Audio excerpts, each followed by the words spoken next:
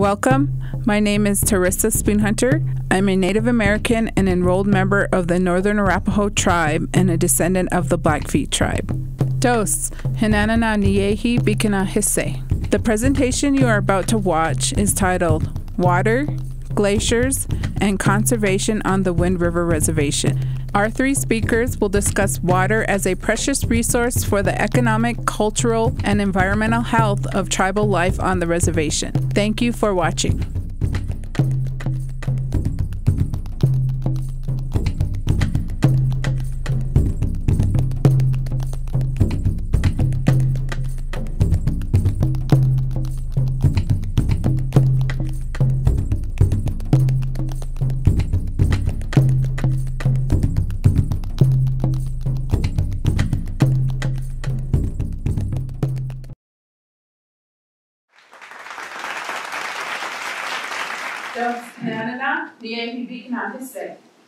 Oki Nidani Kunatos de Stakyaki. I'm Dr. Tarissa Spoonhunter. I was raised on the Blackfeet Indian Reservation next to Glacier National Park, but I am a enrolled member of the Northern Arapaho tribe. My father's side um, are Arapaho, so I've been with CWC for five years, so in a sense I'm kind of also learning as I go about my Arapaho side, um, my Arapaho way of life. But I was raised in a very contemporary family that was very highly educated. They were ranchers, um, but also we were very traditional. We still practice our ceremonies. Um, again, my name, uh, translates into um, Holy Beaver Woman, because the beaver is the central bundle for the Blackfeet people. So at age nine, I was given this name. And even though I didn't quite understand the whole bundle system, um, the responsibility, you know, of being a beaver woman, I knew there was some status to my name. And so throughout my life, I grew up wondering, how can I ever live up to that name? I know that name means a lot within my tribe. And so as I got older and learned and went to uh, the beaver ceremony, which is when the waters are high, which is usually June, and then the bundle is put to rest um, for the winter, which is usually in October after the first snow. And so my life was set at age nine that I was going to be um, someone that my people could rely on, someone that would share, be kind, be generous. And I'll tell you, it's a hard life. Because in the society we live in, in the Western education system, it totally contradicts, you know, what I'm expected to be as a black woman. You know, as Western education, we're told to get an education, become wealthy, you know, get it, build your retirement, right? And for me, going to school meant I needed to get go into a field that would benefit my people. And so at first, I started out in anthropology, you know, very interested in cultural preservation um, and language preservation. And then I took a federal Indian law class. And I believe me, that's the most depressing class for any American Indian, you know, and my students, you know, but it's also something that wakes you up. And so from that class that I didn't take until I went to graduate. I didn't read my tribal treaty until I went to graduate school. The treaty is the foundation of this government to government relationship. Tribes hold 25% of the U.S.'s oil and gas on tribal lands. We're a big stakeholder.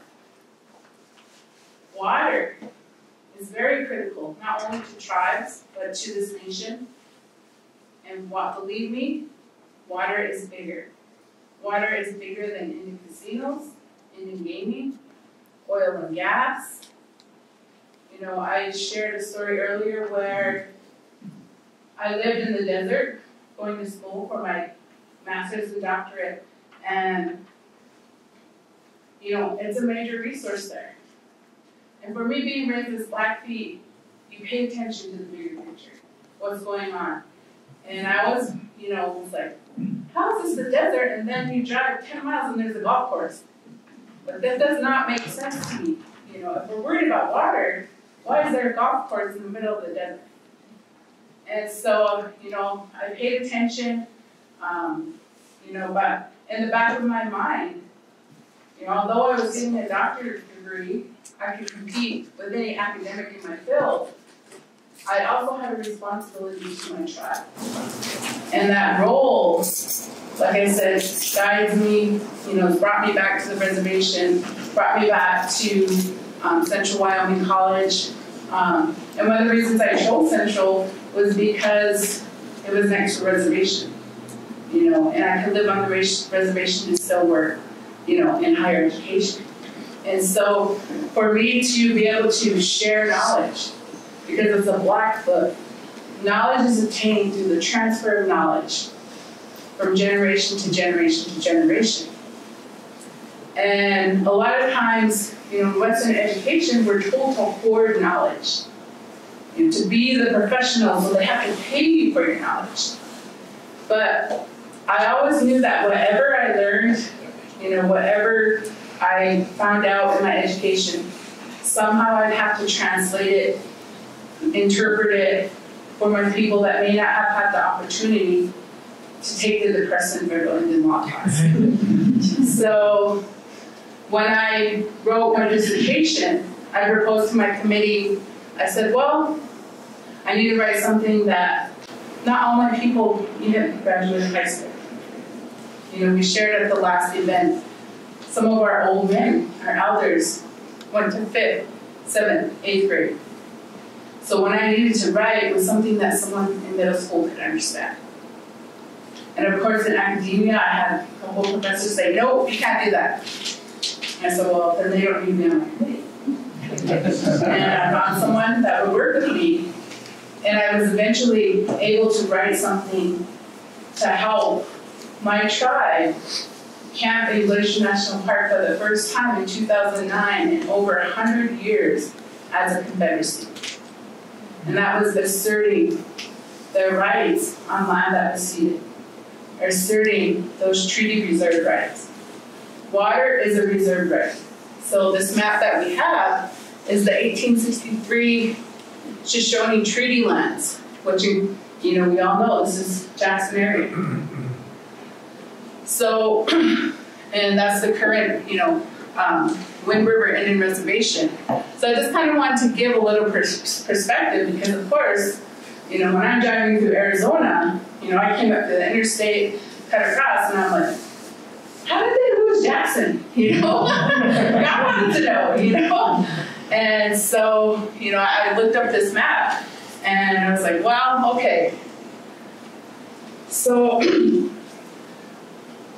When we have our ceremonies, we call upon the water, the water beings, the sky people, the animals of the land, the plants, the rocks, so forth, with the humans being the last to be called upon. Until all have arrived and taken their place in the lodge Without the environment and its beings, we could not have this ceremony. And so I shared this opening ceremony at the Harvard think tank when Obama became president. And we had many different federal agencies there. And the feedback that we got was from lawyers, from scientists, you know, from watershed managers, National Park Service, BLM, Bureau of Rec, and like, wow. I never really thought about how my work impacts these beings, whereas I was always put, you know, my human nature first. And so with that, you know, I kind of want to set the tone for our presenters that they'll each present, you know, 10 to 15 minutes and then at the end, we'll ask questions. You can direct your questions, you know, specifically to one of the presenters. Or, you know, if it's a general question, you know, I'll call upon someone that may best be able to answer. Um, we do have other people um, here in the audience that, um, from CWC that would be, um, I, you know, at a request if there's an answer that, um, we can, uh, answer. So our first presenter is Mitch Cottenoir, who is the tribal water engineer for nine years. He also worked in the oil and gas mineral industry for over 30 years. So, in a sense, he worked on both sides of water issue. And so, there's no one, you know, um, that, you know, is more fitting to kind of discuss and set the tone, you know, for water is- water issues facing the Wind River people, the Shoshone and the Arapaho. So with that, my question for Mitch is what are the current issues the tribes face with their water? And what are the priority uses for the Wind River Indian Reservation? So the floor is yours.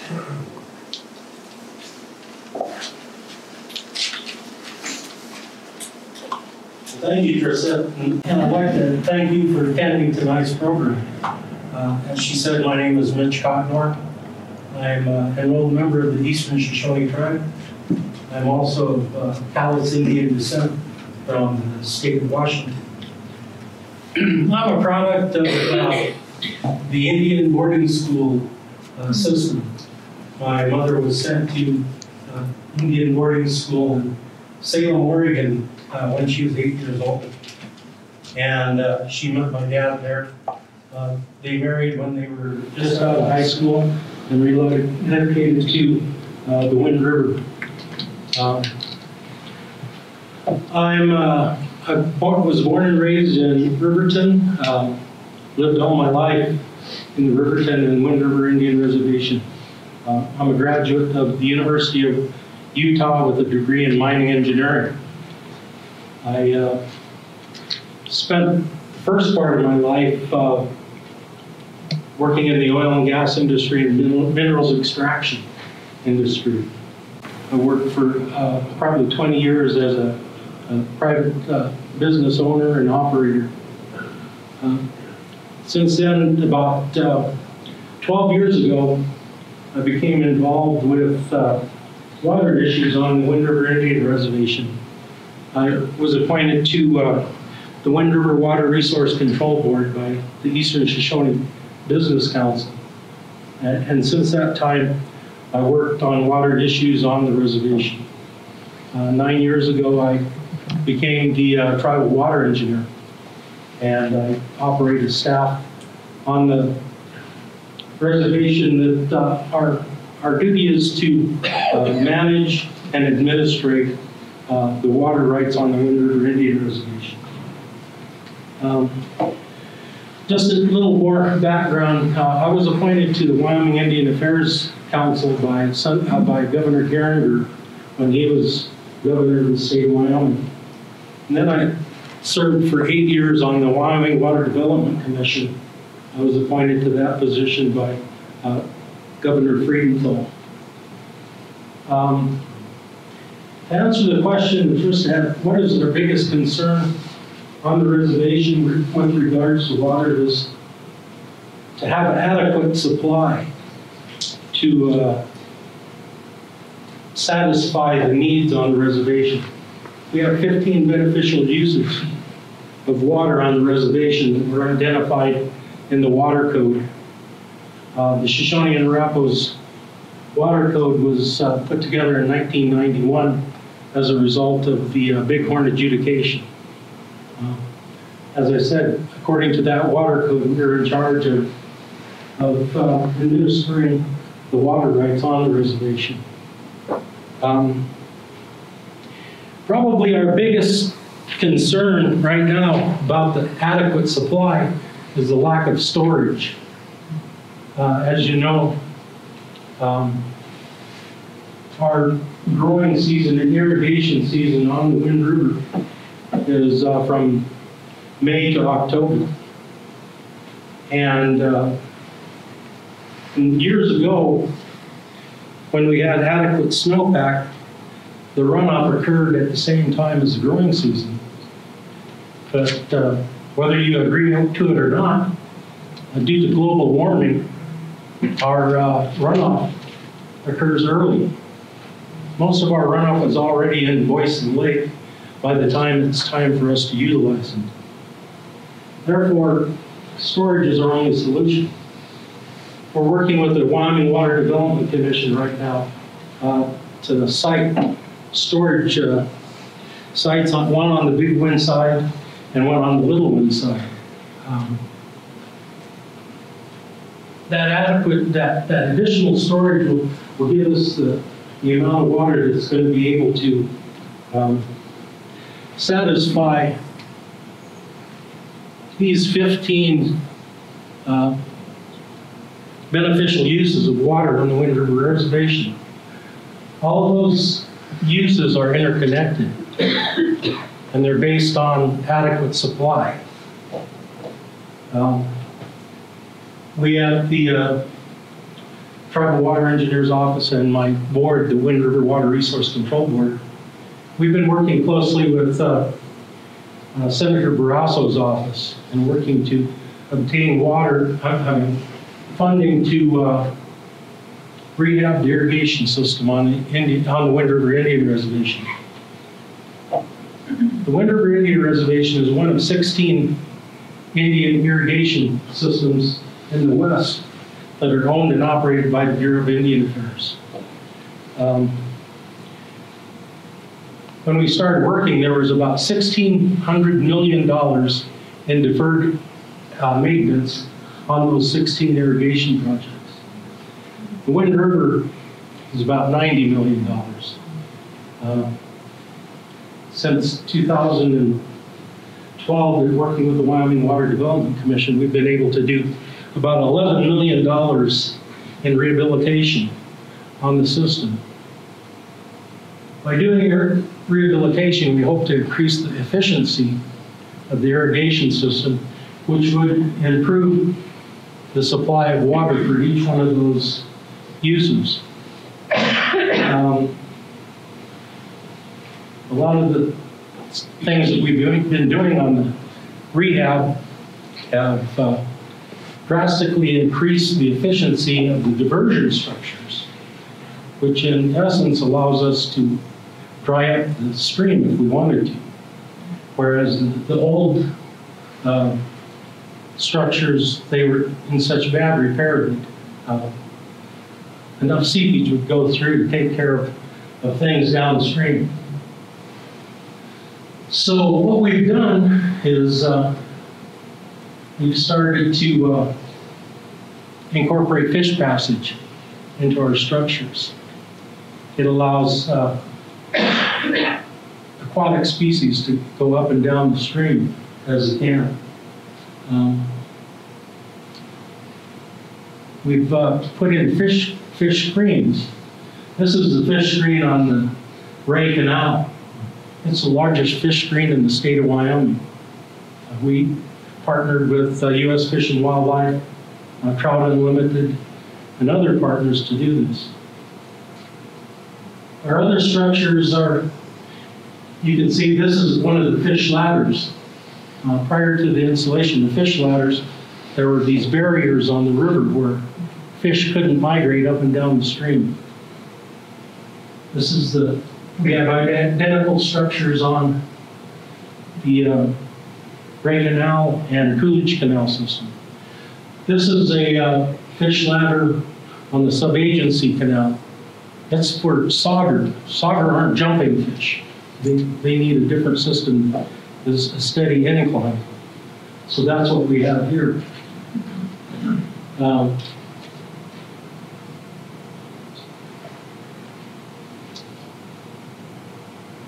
This is the, the fish ladder on the other side of some agency. Um, We have uh, future, we're looking at future fish passage throughout the reservation. uh, Because, uh, like I say, we utilize the fish ladders to bypass enough water to ensure that there's enough water for domestic use, there's enough water for cultural use, There's enough water for religious use. Domestic water is an important thing. In the Ethete area, many times and towards the end of the year, they are dependent on surface water for their drinking water. And it's not uncommon for them to have a, a boiling order put into effect on them. That doesn't occur in too many places in the state of Wyoming.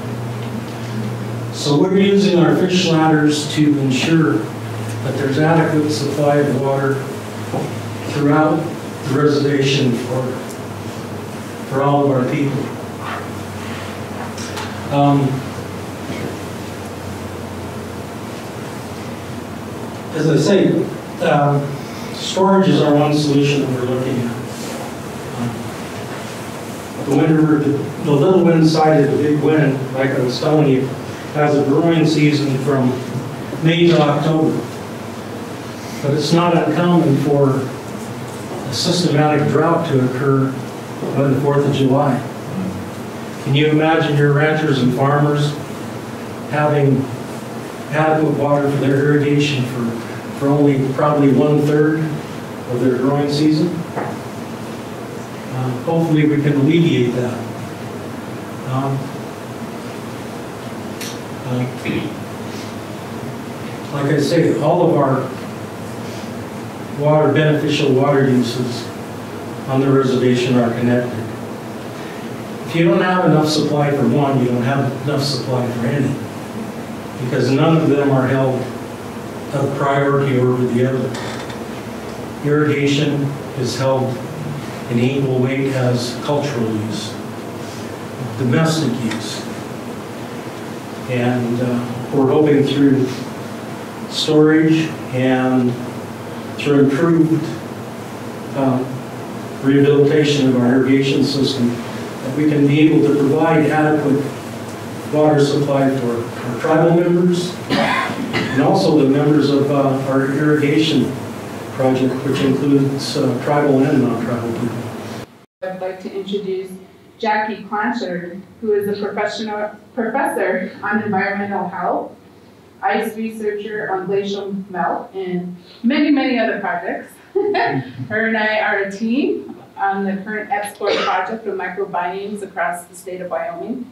Um, so I'm delighted to um, invite Jackie to speak on her partnerships within the Indian Reservation and how her research um, can build partnerships and that sharing of knowledge. You know, we're all facing, you know, water quality, quantity, um, global um, warming.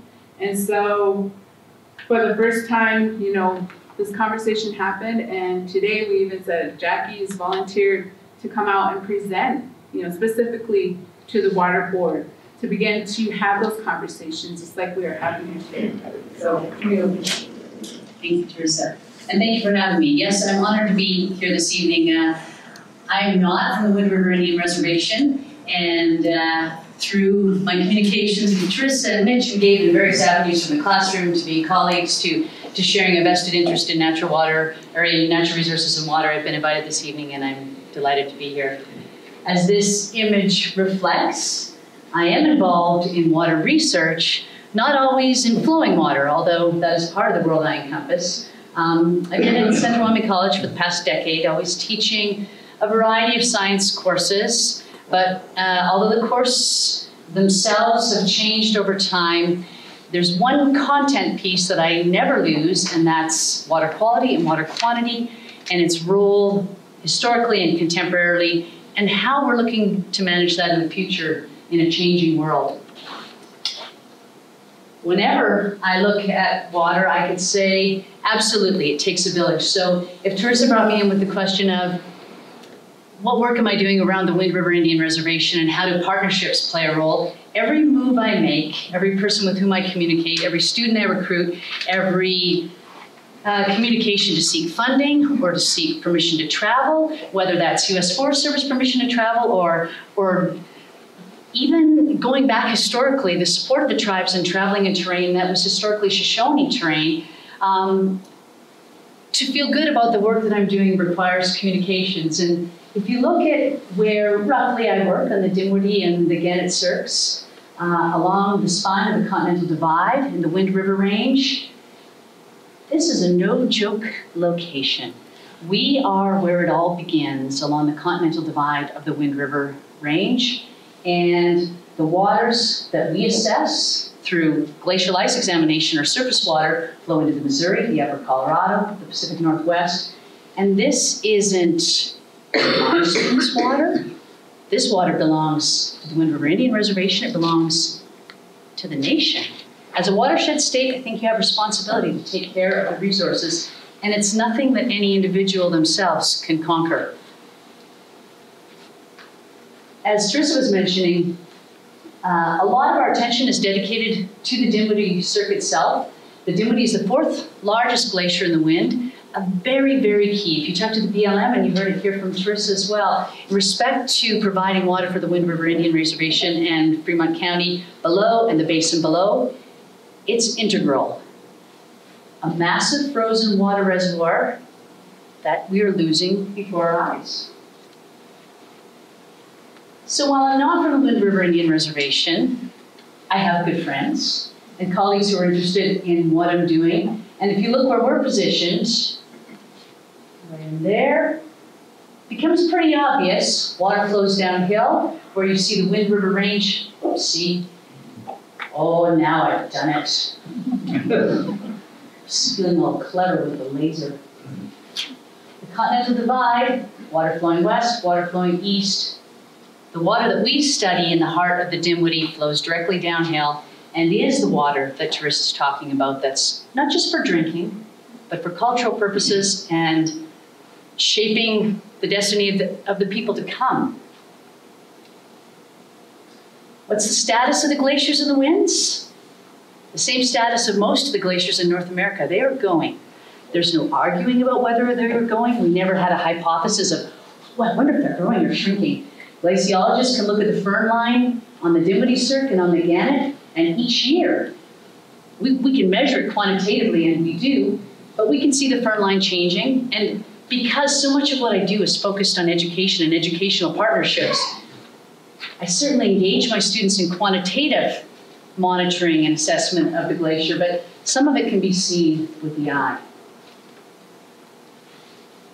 I wouldn't say for fun, but out of intrigue, if we look here and we look here, you do not have to be a glaciologist or an expert. You just have to be able to see. That's a massive difference. And even if you accom- uh, uh, accommodate for time of year, et cetera, you, you can't attribute that to a yearly snowpack difference. This is a massive and monumental difference over time. And in each one of these glaciers, this is just one, the Dinwoody, the Dinwoody, the Gannett, the Grasshopper, the Sourdough, there are frozen wet reservoir banks. It's like having a savings account. You can have the money all at once and buy all the candy you want, or you can have it in the bank and get the trickle effect. And that's what we're doing and have been doing historically with glacial water is getting the trickle. But the question now is, well, what happens when they're gone? There's no more trickle. If you spend the savings in a crisis, what do you have for the next crisis?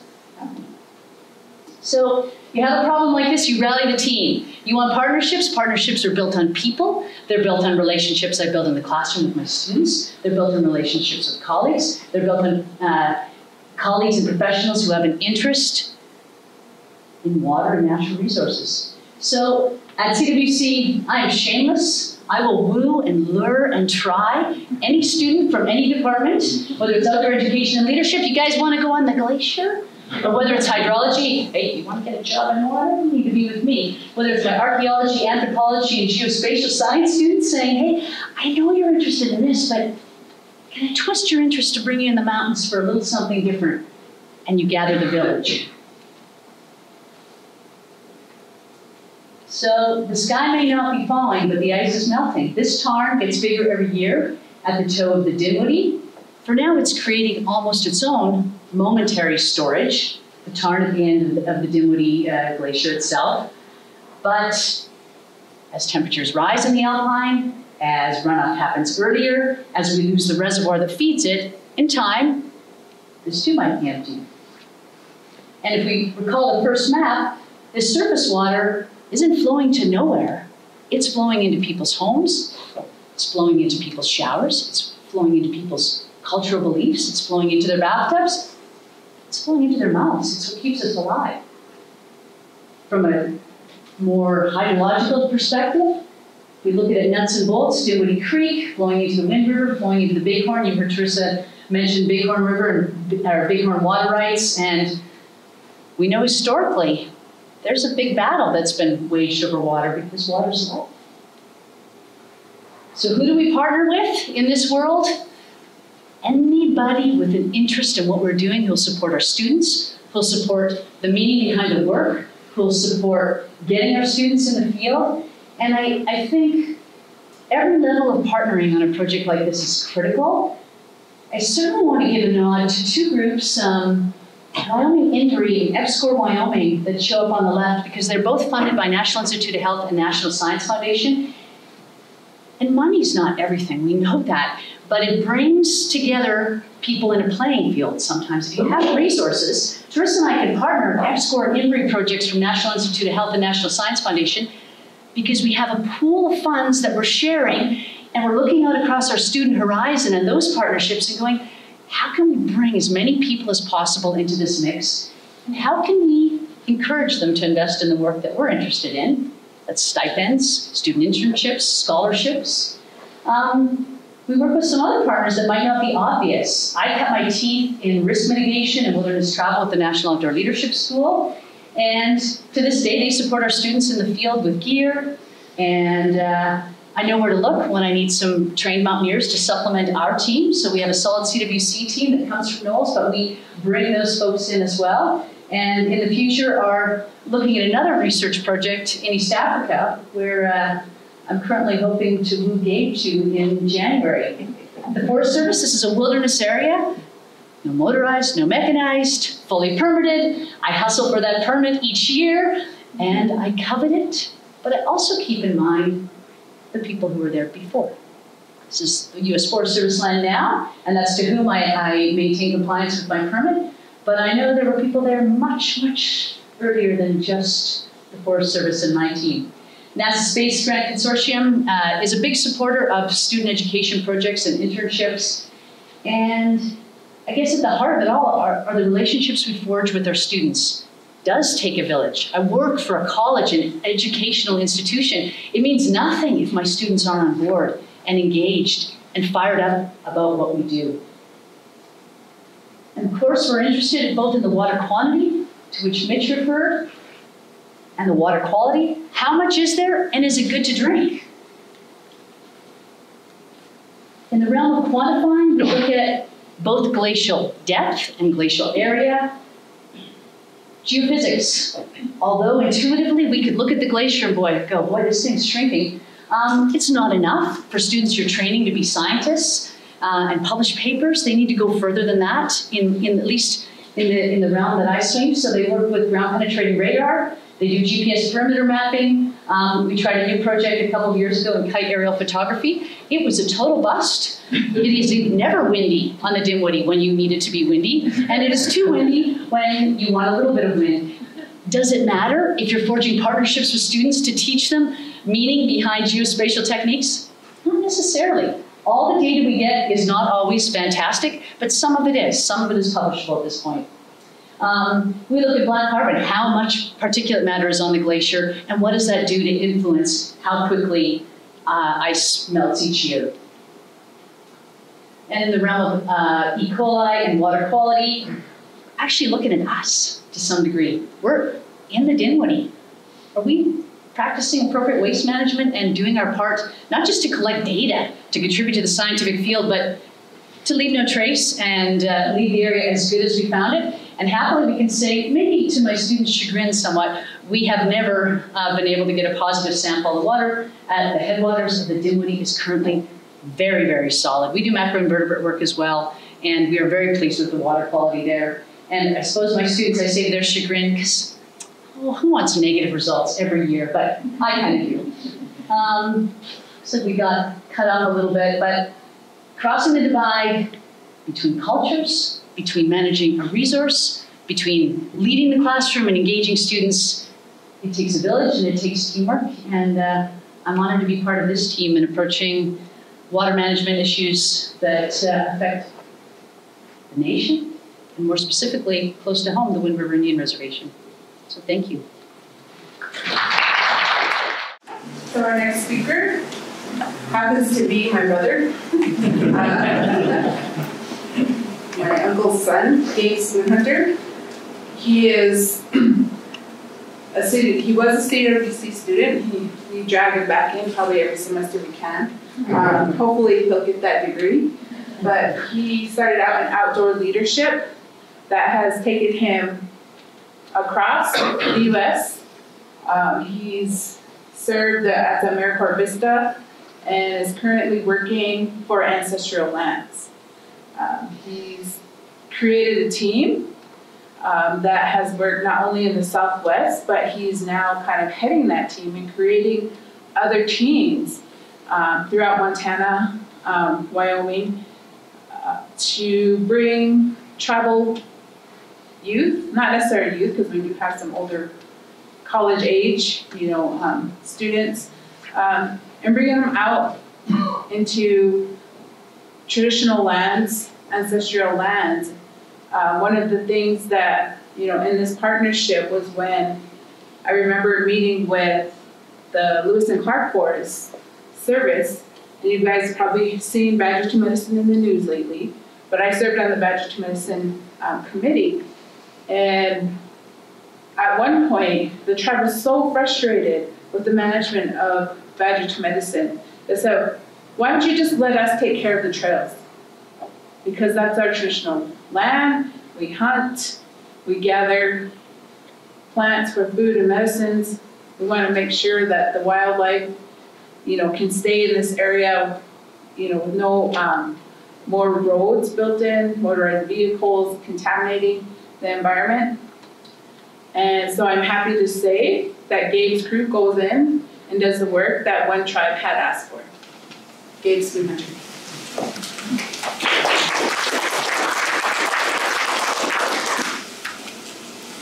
Oye, y no le digo, no, no, no, that law, nah, sit, no.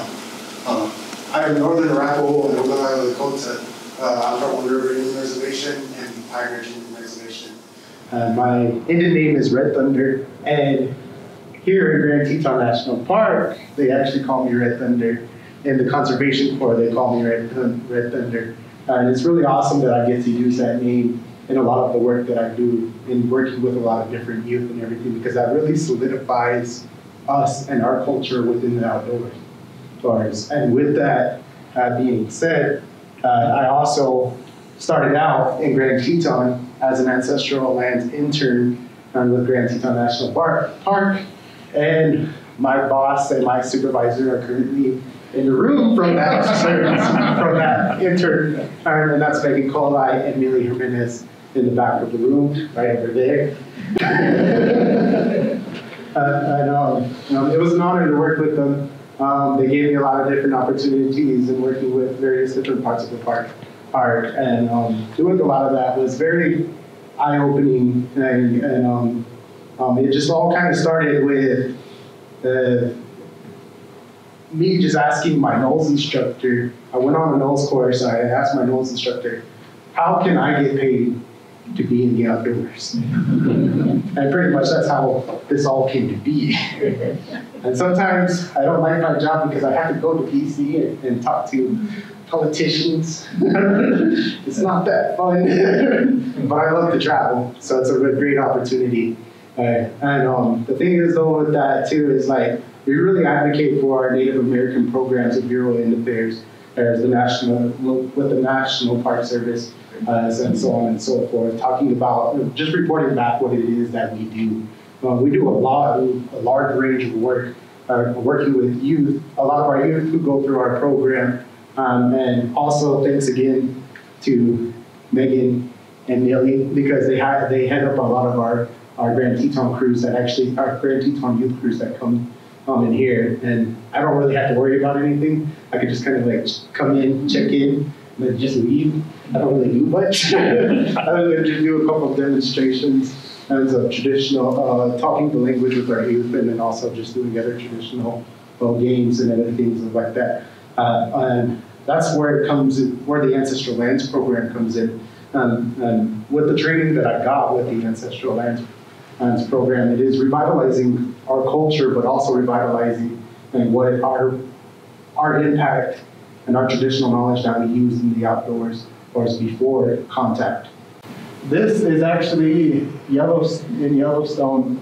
We do a lot of um, traditional, we, remove invasive species um, um, that are detrimental to the environment uh, and um, that are not originally there. And who better to know what is invasive and not than the people who've been here the longest.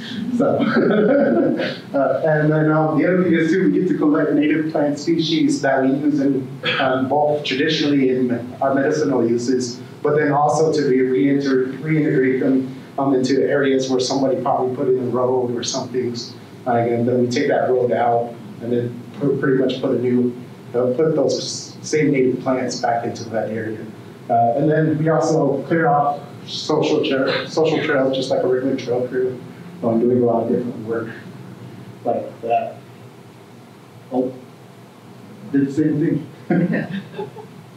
the other thing is too is we do a lot of, of um, different kind of, of um, fuels reduction and also just clearing out trails just like a regular tra- uh, conservation corps.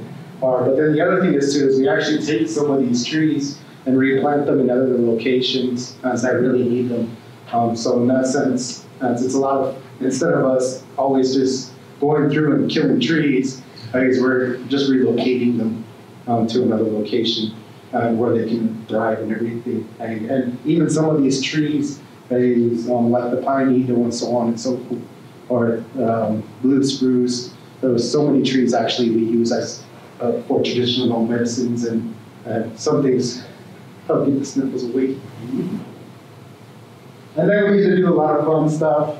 Uh, um, one of the major things that I really love to do so, is with our ancestral lands is taking them to historic sites. Uh, it's like the Battle of Little Bighorn, or um, places uh, as to where there's a lot of stories that really connect us with our people from long ago. Uh, um, that is actually on one of the Great Lakes. Uh, it's to the Northern Arapaho people.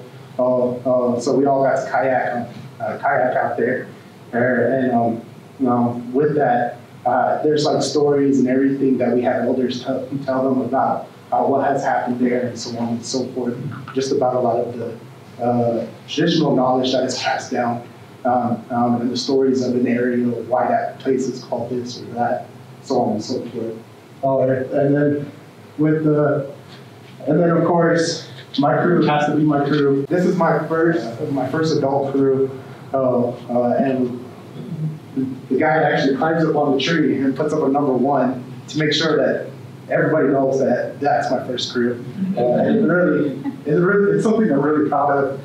Uh, three years ago, I really worked really hard, hard to get these conservation corps crews uh, for our native youth because looking at the Ancestral Lands program down in the Southwest Conservation Corps, where I received my training, them working with their language, them having their youth going out uh, and doing a lot of the traditional knowledge, uh, that is really what inspired me to do this for our people up here. Yeah, and it was really great uh, to know that people down south were doing that, and then and pretty much I just stole a model and came up here and started doing work. so, yeah. And then the other thing is too is just um, um, another significant thing about the uh, Battle of Little Bighorn site uh, is that I can actually trace both of my ancestry on my.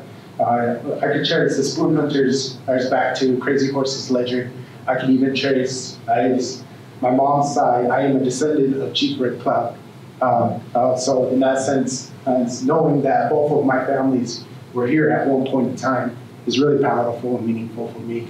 And then the other thing is too, is that there was actually a warrior who died there by the name of Red Thunder as well too.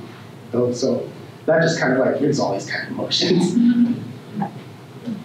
and then a lot of the work that I really have to do uh, is really talk with, um, uh, talk, show people our traditional games, show people, uh, show the people oh, a lot of, um, uh, show a lot of non-natives of the importance of what are the things that we do so, uh, that I can actually teach. There's some things that I can't teach and there's some things I can't talk about. Uh, but in that sense, uh, the things I can, uh, share that information with them. Um, and they all get a kick out of it and they all turn around and really find out why it is that we, we have our certain protocols, our certain rules. Uh, and sometimes they get upset about it too. But either way, it is that knowledge that's being passed on and shared there. Just like my sister was saying, we have to share that kind of knowledge as you talk about talk about things. And then, of course, I and I have to give downtime to my crews hosts, so having them do their traditional uh, traditional crafts, uh, having them do dream, dream catchers, beadwork, or um, kind of like what I'm wearing right now.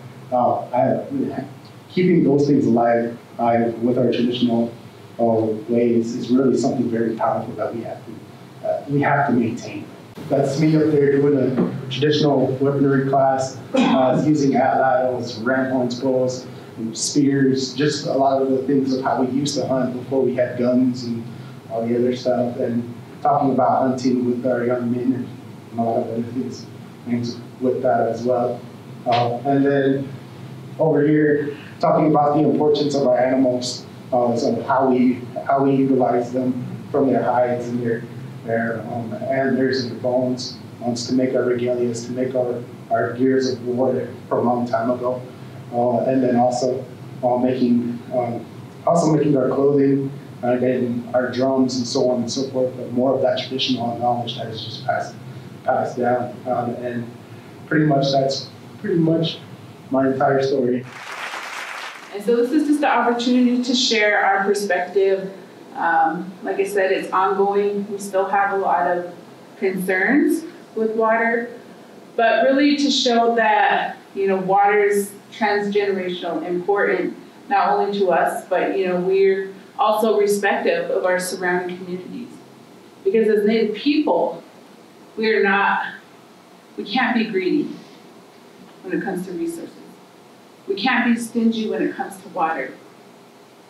And I kind of proposed this, you know, to someone at one point, you know, just as an example, if the shoe was other on the other foot. And before I say that, I want to share, um, someone came up to me in the last session and it's like, don't tell my name, but I was a federal judge for the Bighorn case. And I felt like I didn't know enough about American Indian water rights and so I called my predecessor, and he said, the Indians own all the water, and then you'll be able to do your job.